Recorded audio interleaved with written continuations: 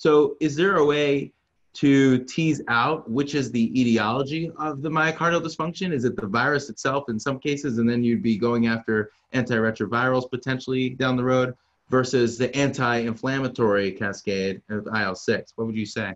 Wow, this is the most important. I wish we have the answer because this is what we need to tease out now. And that's why it's so important that we will collect the right data and the right time. I can give you my gestalt about it, but sure. I, I wish that it was evidence based. It's not going to be evidence based yet.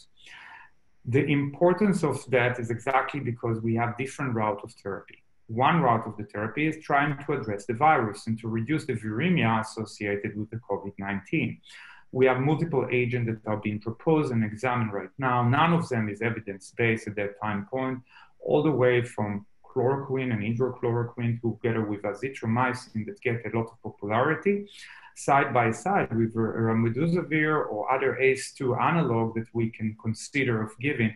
Again, none of them is for the meanwhile evidence-based or proven, but all of them are trying to target one thing, reduce the virus.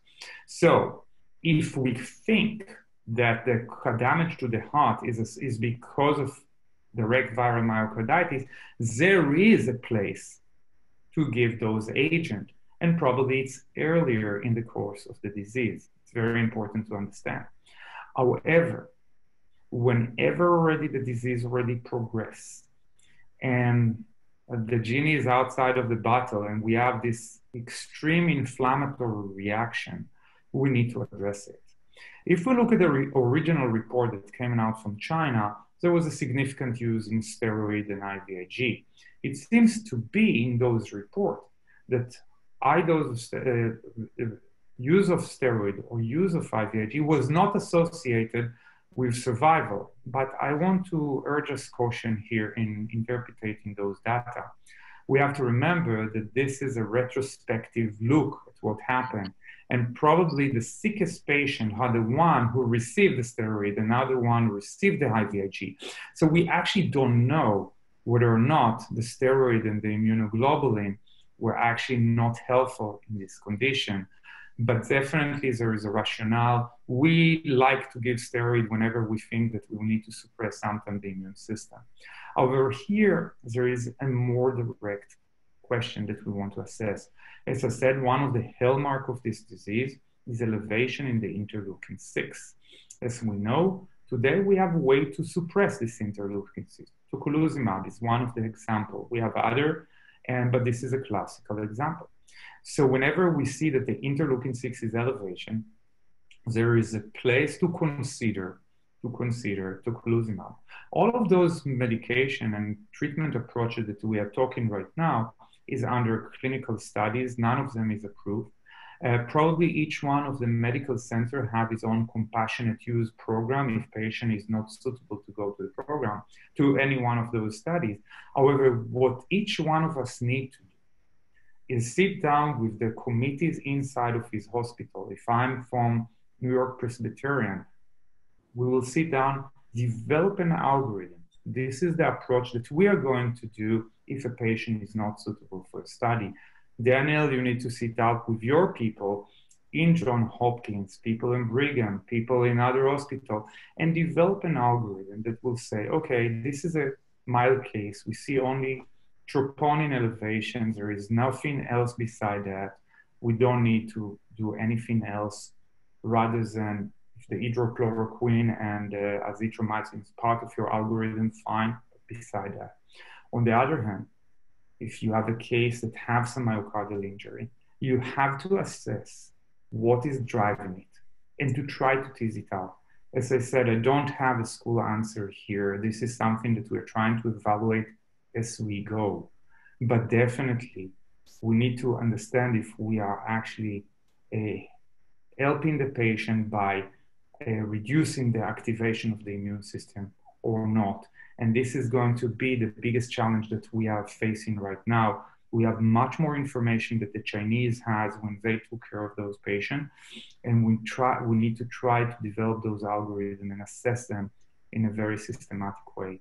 Are we seeing a predominance of left ventricular dysfunction, right-sided dysfunction, or are we seeing a mixed picture of biventricular dysfunction?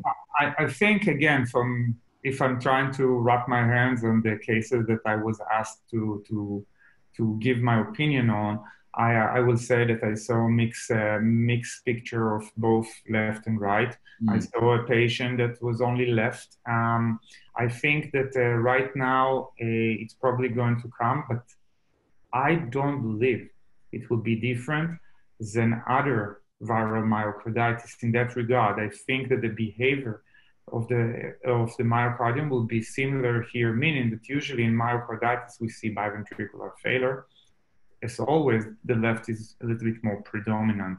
However, uh, it's not something that I anticipate to see differently. Uh, again, uh, remember we started with a story of about a couple of patients that I share with you the opinion. Uh, the first one that I described with the ST elevation was mostly left side. Mm. The second one that was very severe cytokine storm was a very clear biventricular failure that required both support to the left and the right side of the heart. So this was an EF of 15%, but also significant reduction of the right function. That's very helpful. So, you know, when you're approaching these patients, and now we're going to take the same myocarditis patients and take them along our case today as part of our discussion. And so you have the patient with severe biventricular failure, who we talked about is more of a cytokine crash there's obviously also uh, a very large component of hypoxia. And so maybe potentially the LV is struggling, but the RV is also, but then it's got the double hit of a cor pulmonale situation. So are you quicker to start VV ECMO and then if that doesn't work, go to VA ECMO, hoping that you can provide more blood flow to the left ventricle before you escalate to VA ECMO, VA ECMO? I knew this question is going to come. The ECMO question is the question that I have to say when all of it started, it started to go in my head. You know that mechanical circulatory support is something that's very close to my mind. Mm-hmm. I believe that all of us that deal with cardiogenic shock and mechanical uh, circulatory support, it's give us a relief in the second that we pull the trigger, we know that we can stabilize the patient. Now we can stop anything. So let's see what we have here. We have definitely a patient that is hypoxemic. Most of those patients will have the, the respiratory syndrome side by side with that. The majority of them, intubation will be enough, and if not, VV ECMO.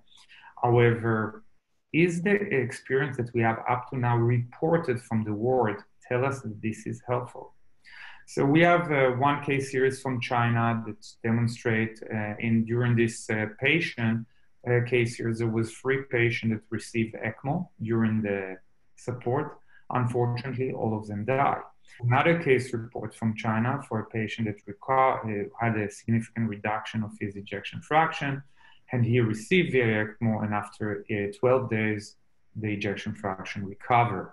Mm-hmm. So I think, again, we are in a, a data-free zone in which there is a for sure a publication bias from centers that are overwhelmed and cannot report their experience to definitely our experience uh, in general in the VA ECMO that it can provide enough support both to the left, the right, and the lung.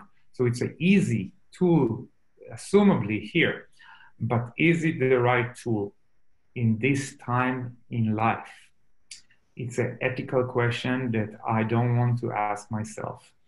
And for the meanwhile, I think that every provider will be a will need to give the uh, support to his patient according to the guidance in his hospital, his or her hospital, and to make sure that those uh, plan make ahead.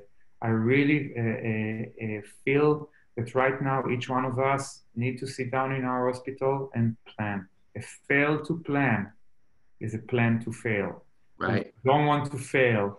We better plan in advance exactly what are we going to do in a patient that's going to come, exactly as you said, cardiogenic shock, not responding to inotrope support. Are we moving forward to the next phase? Can we have enough support to do it to those patients? Um, we, for the minimal in Columbia, have already cases that we supported with uh, the use of uh, mechanical circulatory support, i.e. VV ECMO or VAV ECMO. And uh, definitely it's something that the institution will need to decide based on case by case. Thank you very much. That was really wonderful. And it was really great talking to you today.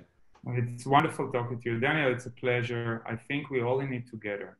We need to remember that uh, this is the first time that uh, we, the medical team, are the front line all over the world. We have a role.